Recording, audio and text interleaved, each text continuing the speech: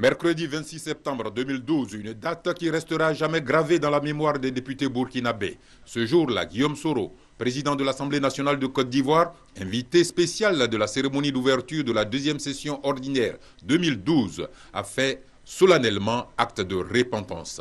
Repentance pour les Burkinabés qui ont perdu la vie durant les crises en Côte d'Ivoire et pour les propos malheureux tenus à cette occasion à l'encontre de ses frères de toujours et pour toujours.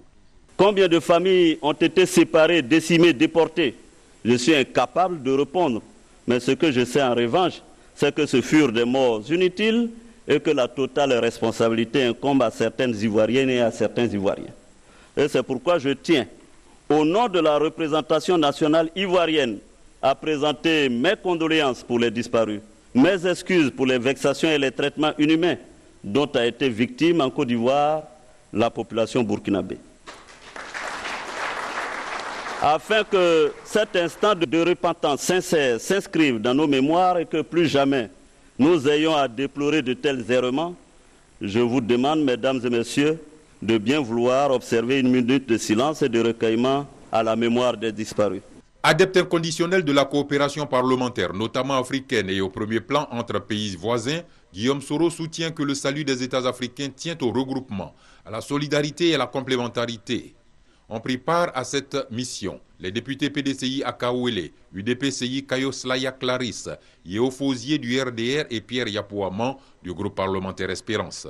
Cette délégation forte et diversifiée est à Ouaga, selon le président de l'Assemblée nationale, pour prôner la fraternité et la communauté d'héritage et de destin entre les peuples burkinabés et ivoiriens sur la base de la dimension historique et politique de leurs relations. Le débat récurrent est toujours actuel sur l'origine géographique d'un grand nombre d'Ivoiriens du Nord ou de Burkinabés du Sud est ici faussée. Car celles et ceux dont les ascendants sont nés en Haute-Côte d'Ivoire entre 1933 et 1947 peuvent à bon droit se prévaloir d'une double nationalité ou, pourquoi pas, se considérer comme des citoyens ivoiro-voltaïques. Le Burkina Faso et la Côte d'Ivoire sont comme le frère et la sœur d'une même famille pour la bonne raison que c'est du même peuple qu'il s'agit, que c'est d'une histoire de famille qu'il s'agit.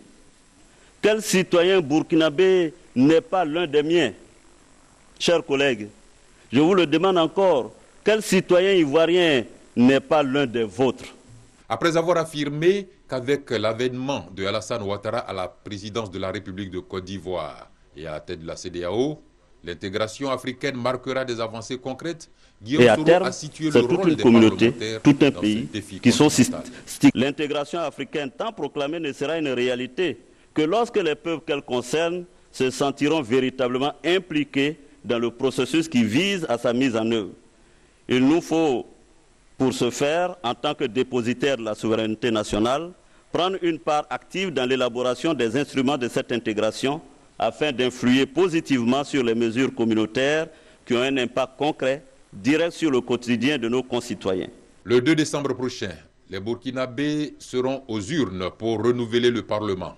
Malgré l'ordre du jour particulièrement chargé pour cette dernière session de la quatrième législature, les députés burkinabés ont confirmé leur arrivée mercredi prochain à Yamoussoukro pour l'ouverture de la deuxième session ordinaire 2012 de l'Assemblée nationale de Côte d'Ivoire.